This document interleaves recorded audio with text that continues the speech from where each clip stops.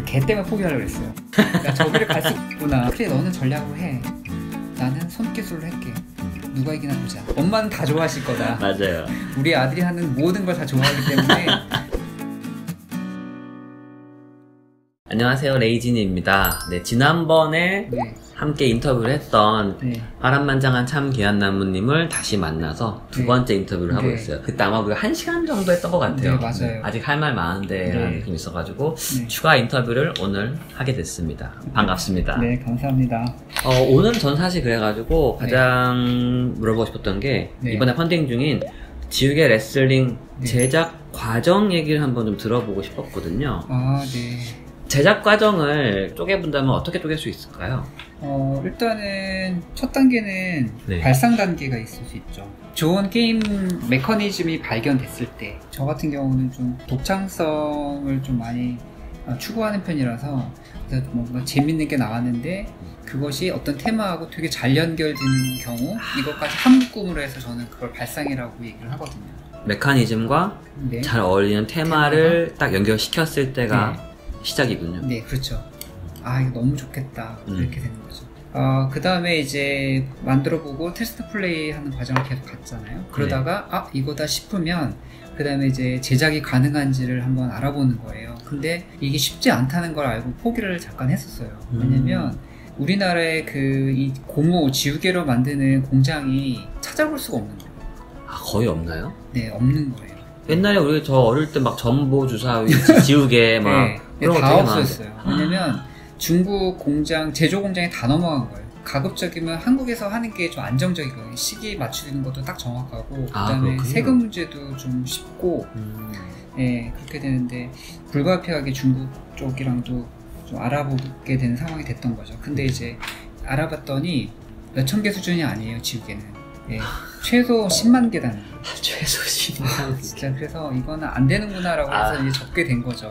게임이 10만 개면은 지우개 4개 들어간다고 했을 때 2만 5천 개가 팔려야 아, 되는데 그러니까요. 그래서 포기했어요, 이 좋은 게임을. 저 10만 개 못 만드니까 네, 못 만드니까. 네, 근데 이제 다이소를 갔는데 국내에서 만든 제조 제조한 데가 국내가 하나 있는. 아 뭐 예를 들면 예, 어느 지역 이렇게 딱 나와 있는 거예요. 그래서 와 이거다 유레카. 그래서 거기를 제가 차를 몰고 찾아가요. 아, 직접 와 네, 찾아갔는데 도착을 했더니 좀 후미진 데예요. 이게 진돗개가 막 있는 거예요. 정말 무서운 게 그 개 때문에 포기하려고 했어요.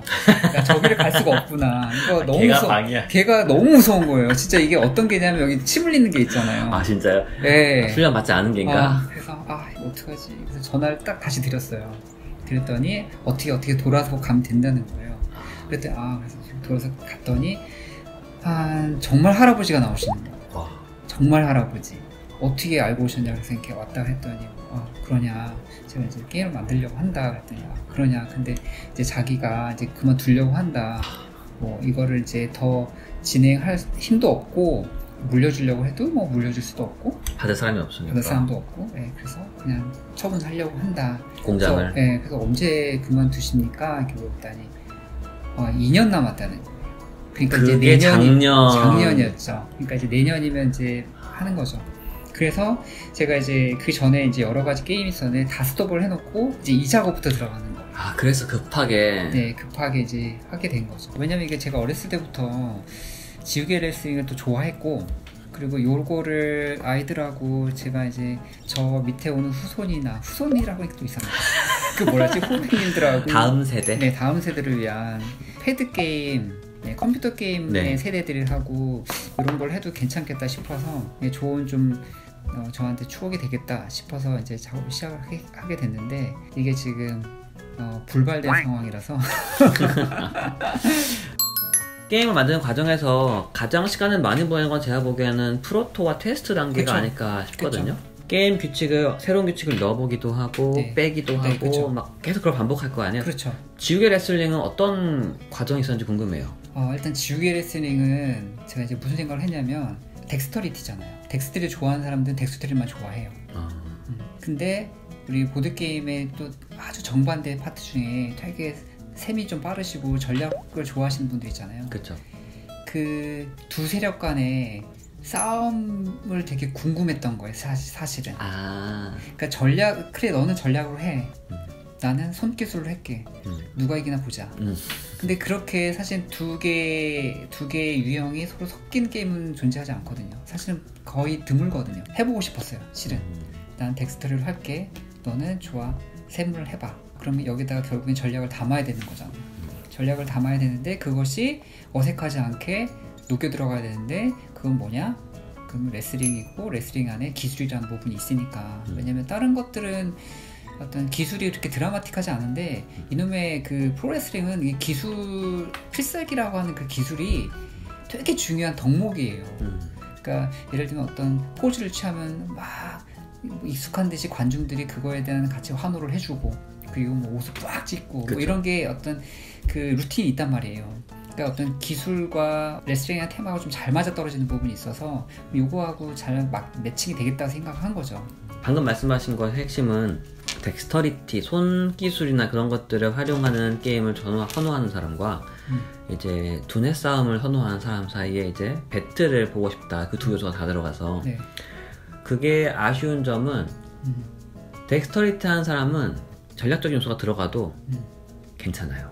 음, 그걸 꺼려하지 않아요. 음, 전략을 쓰는 사람들이 음, dexterity가 들어가면은 음. 순간 꺼려하는 게 있어요. 아, 그럴 수 있겠네. 자기 통제감에서 벗어나는 일들이기 때문에. 전략을 좋아하는 사람들한테 뭔가 유혹할 만한 걸 하려면은 그들이 판단하고 선택하면은 음. 여지 없이 딱 맞아 곧장 떨어지는. 결과가 나오는 기술을 가져올 때그 네, 기술이 passive가 아니라 일회용 기술도 있으면 좋죠. 왜 우리 deck building 할 때도 네. 어. 그리고 번개 마커 한 번에 네 한 번 쓰고 버리는 게 있잖아요. 구입하자마자 네, 네. 계속 내 deck에 있는 게 아니라 대신 각좀 강하고. 대신 강하죠. 대신 일회용. 아 그러네요. 그렇게 따지니까 기술들 좀더 추가를 해야겠네. 아 그 생각은 못 해봤네. 그죠? 한 번 쓰고 버리는 것도 있으면 괜찮겠는데요. 참고하시고요. 네. 그 규칙을 넣고 빼잖아요. 계속 테스트하면서 네. 어, 지금 지우개 레슬링이 거쳐온 길이 있을 것 같아요. 네네. 뭘 넣어봤고 네네. 뭘 빼봤고 어 이제 한몇 가지 되는데 처음에는 이 자기가 기술을 습득하는 과정이 따로 있었어요. 좀 카드 플레이도 좀 해서 음. 예를 해서 이제 완벽하게 한 선수를 만들고 이제 그 선수를 갖고 이제 싸우는 거죠. 그러니까 예를 들면 포켓몬스터에서 보면 이제 잡아서 이제 업그레이드 시킨 다음에 상대하고 대전하는 것처럼 음, 음. 예, 그런 식의 게임으로 처음엔 구성을 했었는데 어, 조금 거추장스럽다고 판단이 됐어요. 음. 예, 그래서 예, 깔끔하게 정리하느라고 음. 원래 이제 처음에는 아이디어가 막 나오잖아요. 그쵸. 처음 막 있는데 맞아요. 그러면 이제 이 게임 볼륨이 좀, 좀 커지죠. 예, 많아지고 좀 지저분해지는 경우가 있거든요. 근데 가지를 또 치는 과정이 있어요. 그래서 다시 또 집어넣고 치는 과정이 있는데 그 당시에 이제 그렇게 두 개로 나눠서 했던 기억이 좀 기억이 나요. 음, 그걸 쳐버렸군요. 네, 초보자. 약간 그 흔적 남은 게 초보자 규칙이 네. 초보자 규칙. 좀 아까워서. 음, 완전 버리면 아깝죠. 네, 이게. 아깝잖아요. 그러니까 예, 그렇게 살짝 이렇게 했던 거죠. 이제 뭘 남길까를 정할 때 네. 어떻게 고민하고 남기셨나요? 그 당시에 어, 흐름이요. 흐름. 예, 게임에서 되게 중요한 흐름이거든요. 더 구체적으로 흐름이 어떤 걸 그러니까 이거는 이제 제가 제 생각은 아니고 이제 제작 쪽에 이제 경험이 많으신 예, 게임 작가님들한테 들었던 얘기인데 게임을 이제 시작을 했어요. 게임에서 끝날 때까지 어떤 이제 흐름들이 있단 말이에요. 근데 그 흐름이 어떤 게임들은 자꾸 멈추는 게 있어요. 턱턱턱 걷게. 이제 사람의 즐거움이라는 거가 쓱게 고조가 된단 말이죠. 근데 이것이 자꾸 끊어지면 이게 재미없다고 사람이 느끼는 단계가 오거든요. 그러니까 음. 게임이 끊어진다는 느낌이 들면 안 되기 때문에 이제 그 부분을 면밀히 찾아보는 거예요. 자기가 게임을 하는 도중에 여기서 지금 끊어지는 부분이 어딘가. 그러면서 그 부분을 이제 쳐내는 거죠. 근데 생각보다 많아. 예를 들면요. 이런 거 있잖아요. 이제 게임을 이렇게 하고 있는데 어떤 사람이 눈을 감아요. 뭐 20초, 30초? 이렇게 말 없이 가만히 있어야 된다? 그럼 그건 벌써 게, 게임 흐름이 완전 끊긴 거예요. 음, 이분은 재미없을 확률이 되게 높아지는 거. 이, 이를테면 이제 그런 식으로. 그거 되게 중요한 포인트인 것 같은데 그렇게 흐름이 끊기는 신호가 뭐가 있을까요? 하다가 싸한 느낌 들 때 있거든요. 그러니까 재미없는 그 약간 term이 있어요. 그 침묵의 음, 음. 타임이 있거든요. 그, 그 침묵의 타임을 빨리 감지해야 되는 거예요. 핸즈캣 예를 들어볼게요. 핸즈캣 같은 경우 어떤 치명적인 문제가 있었냐면 공을 딱 슛을 해요. 네. 근데 컨트롤이 안 돼서 저기 멀리 간단 말이에요. 아 맞아요. 그게 그렇잖아요. 되게 그러면 그 공 주우러 가야 되잖아요. 맞아요. 그게 되게 힘들었어요. 그게 흐름을 깨는 거예요. 예를 들면 이제 물어보는 것도 되게 좋은 방법이고요. 그 사람들한테 네, 물어보고 어디 뭐라고 물어보나요?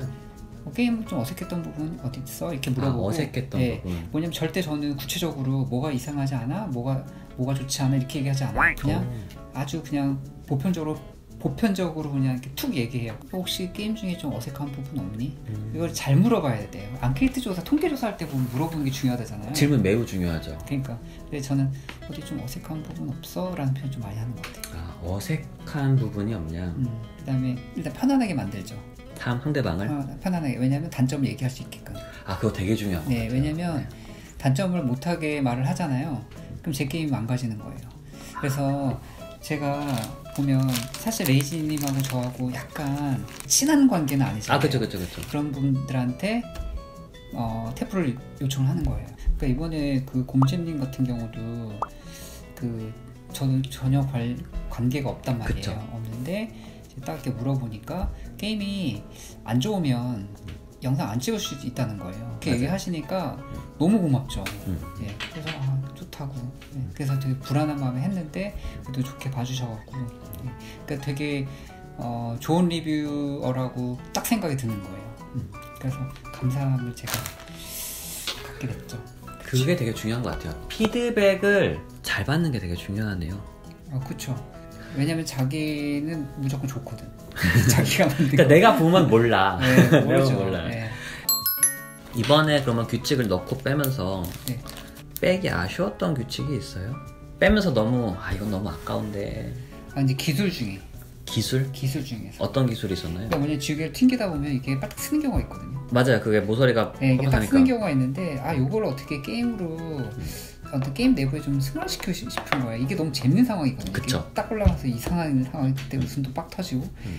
근데 그 그거를 게임에 이제 녹여서 넣으려고 하니까 자꾸 게임이 충돌되는 거예요. 충돌이란 건뭘 아까 흐름에 자꾸 아, 네, 흐름에 아, 안 맞는 음, 거예요. 음, 음. 만약 그렇게 되면 튀기기도 좀 애매하고 그 이후에 맞아요. 예, 그 약사비를 할 수가 있는 거예요. 내가 이걸 쏙 세우는 거죠. 아 맞아 맞아 맞아 맞아. 그런 것도 있고 옛날에 많이 쓰던 방식이에요. 예, 그렇게 이상한 방식들이 자꾸 생겨서 음. 게임이 약간 지저분해지는 거예요. 음. 그래서 제가 과감하게 쳐냈는데 음. 아, 아 그, 그거 있었다. 뭐 있었냐면 네. 여기 진짜 또 넣고 싶었는데 뺐던 게 뭐냐면 네. 의자 있었어요. 의자. 의자 예, 뭐 도구로서? 예, 그래서 이렇게 지우개를 이렇게 조그맣게 해서 의자를 하나 만드는 거예요. 의자 프린팅. 네. 그럼 그래서 어떡하나요? 걔는 사람 몸에 올려놓고 던지는 거예요. 지우개 팅아 그런 것도 있었어요. 아니, 그래서 그래서 그 박스 보면 의자가 하나 날라가 맞아요, 있어요. 네, 있어요. 그게 이제 그거를 이제 하나 했었던 거죠. 어 그거 재밌겠다. 예, 그건 뺀 이유가 뭔가요? 그것도 격가지죠. 음. 게임에 난입한 상황이라서 게임의 흐름 때문에 그런 게 되게 많은 것 같네요. 그 뭔가 그 자체만 보면 굉장히 재밌는 상황인데 전체 흐름에서 네, 흐름에서 안 맞는 거. 네, 그 전개 흐름 쭉 가다가 네. 그게 되게 중요하다고 생각이 돼서 게임이든 영상이든 어떤 작품이든 기본적으로 덜어낼수록 좋은 것 같아요. 근데 그 덜어내는 법을 배우는 게 너무 힘든 것 같아요. 아 그쵸 자기 욕심을 내려놔야 되니까 계속 내려놔야 되니까 예, 그러니까 이제 욕심을 내려낼 때 어, 자기한테 합의하는 방법이 있어요. 어떻게? 제작비를 줄인다. 난 제작비를 줄인 것뿐이야. 이건 나는 현명한 짓을 한 거야. 아. 이렇게 해- 해갖고 하시는 분들도 있을 거예요. 어, 괜찮은데? 저는 좀 게임 제작의 노하우 같은 걸 좀 알고 싶었어요. 텀블벅 같은 게 생기면서 네. 개인 제작이 늘어났어요 국내에서도. 네. 근데 어, 너무 안타까운 게임이 많은 거예요. 게임성에서. 아 게임성에서요. 네, 게임성에서 이건 사실 아, 내가 테스트 한 번만 하면 이런 게임 안 만들 텐데라는 느낌이 아, 그게 너무 안타까워서. 그러니까 그게 이제 저도 그런 얘기든 이제 제 생각도 있고 뭐 딴 얘기 많이 듣는데 게임 많이 안 해보신 것 같아요. 저그 네. 생각을 되게 많이 들어요. 음, 게임을 많이 많이 해보잖아요. 그럼 많이 해볼수록 점점 사람이 겸손해져요. 맞아요. 그러니까 제가 맞아요. 제가 이제 게임 할 때 기글 막 뒤져본다고 샅샅이 뒤진다 그랬잖아요. 왜냐면 제가 만든 게 분명히 어떤 선구자님들이 음. 해놓은 시스템일 확률이 되게 높은 거예요. 그리고 또 실패했을 수도 있고 성공할 수도 있, 는 거거든요. 그러니까 이제 제가 일단 뭔가 만들어 놓고 일단 저자세로 들어가는 거죠. 음. 저자세 들어가고 막 뒤져보고 막 이렇게 하는 조심스러운 게 있는 거예요. 왜냐면 게임을 우리 워낙 많이 해봤기 때문에 그런 거에 대한 공포가 있단 말이에요. 있는데 만약에 게임을 정말 많이 안 해보면 그러면 이제 저도 초창기 때 게임 많이 안 해봤을 때는 하는 게임마다 제가 감동을 받았거든요. 맞아요. 네, 어, 이건 대박이야. 그리고 또 다음 할또 또 계속 대박을 맞는 거, 만나는 거예요. 그 당시엔 모든 게임이 재밌어요. 네, 근데 어느 순간 되면 음. 이제 점점 그 대박이 점점 없어지기 시작하죠. 왜냐면 전에 어 비슷해. 이건 해봤던 거야. 음. 이건 해봤던 거고 이것도 해봤던 거야. 그러다 보니까 내가 만든 게임도 분명히 어딘가 존재했던 거고 누군가한테 감동이 한번 지나갔던 거라는 생각이 들면서 겸손해지기 시작해지는 거죠. 동감해요. 그게 보통 한두 게임을 해보고 나서 내가 했던 게임과 비슷한 시스템으로 뭔가 좀 바꿔서 해봐요. 보통 약간 네네. 당연한 건데 근데 그렇게 한 다음에 그거를 좀 테스트를 하면 좋겠는데 네. 테스트를 많이 안 해본 경우가 많아요. 테스트를 하더라도 이제 그 옛날에 텀버셀이 그런 얘기 하잖아요. 제발 엄마한테 테스트 플레이 하지 마라. 그런 표현을 쓰거든요. 맞아요. 엄마는 다 좋아하실 거다. 맞아요. 우리 아들이 하는 모든 걸 다 좋아하기 때문에 어, 그러니까 지인한테 테스트 플레이 하는 게 사실은 안 좋죠. 진짜 안 좋아요. 그게 특히 어떤 게임을 만들면은 게임이 자신이 재밌게 노는 친구들과 할 게임을 만든 거예요. 네네. 근데 그 친구들과는 무슨 게임 하든 재밌거든요. 서로 다 아니까. 가위바위보만 해도 재밌어요. 그렇죠. 네. 네. 근데 모르는 사람들끼리 하면은 그쵸. 게임만 가지고 즐길 수가 전혀 없는 거예요. 음. 근데 그런 게임들이 너무 안타까워요. 약간 왜냐면 그것 때문에 텀블벅이나 펀딩하는 개인 제작 게임에 대한 사람들의 음. 편견이 생길 것 같아가지고 아, 전 그래서 약간 그래도 나름 자기 방식으로 게임을 오랫동안 만드셨으니까 네. 처음 게임 만든 사람들이 가장 실수하기 쉬운 거가 음. 뭘까를 음. 궁금해서 여쭤봤던 거였어요. 아, 그러시구나. 네. 이 제작 과정 중에서 실수를 제일 많이 했던 단계가 어디라고 생각하세요? 어, 보통 이제 제가 이제 어떤 실수는 많이 하냐면요.